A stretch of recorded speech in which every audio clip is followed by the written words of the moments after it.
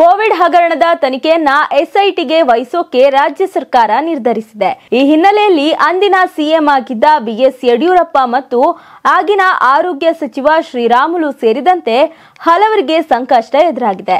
ಇದರ ಮಧ್ಯೆ doctor CN Manjunath ಹೆಸರು ಸಹ ಕೇಳಿಬಂದಿತ್ತು ಹೀಗಾಗಿ ಇದೇ ವಿಚಾರಕ್ಕೆ ಮಂಜುನಾಥ್ ಸ್ಪಷ್ಟನೆಯನ್ನ ನೀಡಿದ್ದು, ನಾನು ಟಾಸ್ಕ್ ಫೋರ್ಸ್ ಅಧ್ಯಕ್ಷನಾಗಿರಲಿಲ್ಲ. ಸಲಹಾ ಸಮಿತಿ ಸದಸ್ಯನಾಗಿದ್ದೆ ಅಷ್ಟೇ. ನನ್ನಂತೆಯೇ ಸಾಕಷ್ಟು ವೈದ್ಯರು ಸಲಹಾ ಸಮಿತಿಯಲ್ಲಿ ಇದ್ರು. ನಮ್ಮದೇನಿದ್ರು ಪರಿಸ್ಥಿತಿಗೆ ಅನುಗುಣವಾಗಿ ಸಲಹೆ ನೀಡೋದಷ್ಟೇ.